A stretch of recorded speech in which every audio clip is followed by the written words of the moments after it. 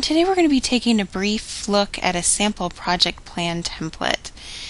Once you figure out the needs of a small business client by creating a technology roadmap and really presenting yourself as the best solution to their sophisticated problems, you really need to turn your goals into concrete and manageable tasks. Your project to-do list is the first essential step to actually putting things down on paper that officially lists and uh, the tasks necessary to make technology and business work together best for a small business. As you continue to revisit and create this big project list, which is going to be an ongoing process, you will of course continue talking about potential problems and reestablishing what your responsibilities are as a small business client's computer consulting firm and also what your client's responsibilities are. The project plan worksheet is another way that you can solidify and define relationships which are really at the heart of the success of your virtual IT company, so you need to pay close attention to them. The project plan worksheet comes at the end of the process of qualifying and working with prospects that are going to become your customers and clients. When you introduce this project plan worksheet, you have already sold the major project upgrade, installation, or support contract, but you need to still be thinking about it as early as when you begin to talk to them during the initial sales call.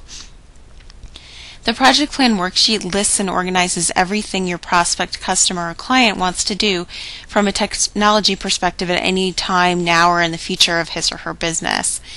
You need to really include anything a prospect, customer, or client mentions that he or she wants to do or anything that you see as a need based on problems and issues you see during the technology assessment or initial sales call.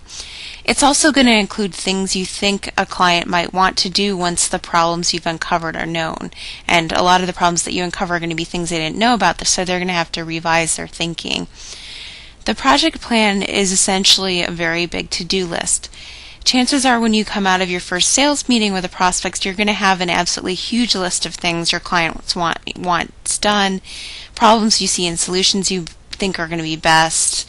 All kinds of things are going to be on this list. Your biggest job is going to be sorting through what has to be done this week, this month, or this quarter versus what can be delayed until a little bit further into the future.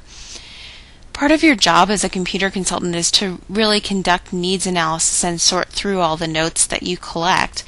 But even after you weed through notes and choose important tasks and prioritize for the right now, you shouldn't discard your notes. These notes are going to be what you need to put together the huge to-do list that's going to be in a central location on this project plan worksheet, and we're going to go through the tabs in just a minute.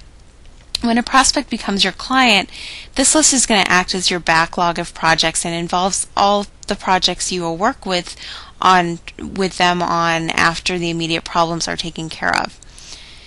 When you get everything up and running and get over the hurdle of the first project, you can sit down with your clients and start to plan for the future, and that's where this is going to come into play.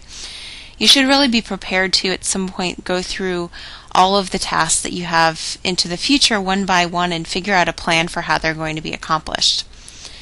The project plan worksheet helps you be a visionary and also be proactive because you're going to be helping customers and clients really understand where they need to be stronger than they currently are with their business, their inherent problems and vulnerabilities, and efficiencies, all kinds of other things. Then you need to show them how to use technology to right the wrongs that are going on with their business.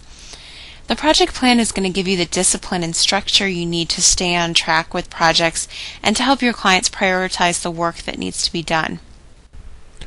Do you want more of the best, steady, high paying computer business clients? Then sign up for free, proven computer business tips now at computerbusinesstips.com. Again, that's computerbusinesstips.com.